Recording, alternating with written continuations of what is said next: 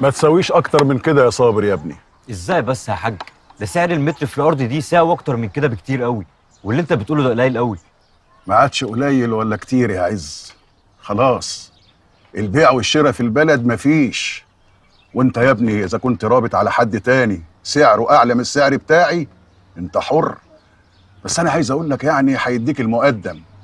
وبعد كده بقى حلني عبال ما تاخد فلوسك. وانتوا يعني مزنوقين ومحتاجين القرشينات يعني إحنا عشان مزنوقين تيجي علينا يا عم الحاج. ده ربنا بيقول ولا تبخسوا الناس أشياءهم. ونعم بالله. بين البايع والشاري يفتح الله يا ابن الشيخ سلام. السلام عليكم. وعليكم السلام. ازيك يا عم الشيخ؟ أهلا وأستاذ زين أهلا وسهلا. صابر ازيك يا عز؟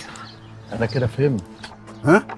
طب آه، لما أروح اوصي على الغدا بتاعكم بقى البيت بيتكم خدوا راحتكم عن إذنكم. اتفضل.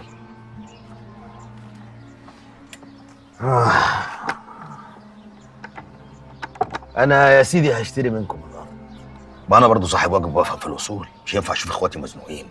ما اقفش جنبيهم. أنا لو اتأكدت يا زين اللي حصل لأخويا جوه الحجز من تحت راسك ورب الكعبة ورب الكعبة حق حسن اللي أخده منك تالت ومتلت حق. حق يا صبري أنت بتفكر كده؟ لا لا. أنا زعلت. أنا برضو هأذي حسن. ده صاحبي. عشان كده لبسته القضية صح؟ ما علينا ما علينا. بقى أنتوا عارفين إن مفيش حد بيبيع ويشتري في البلد دي غير لما يرجع للعبد لله. وأنا نويت اخدمكم عاوزين كام في الأرض؟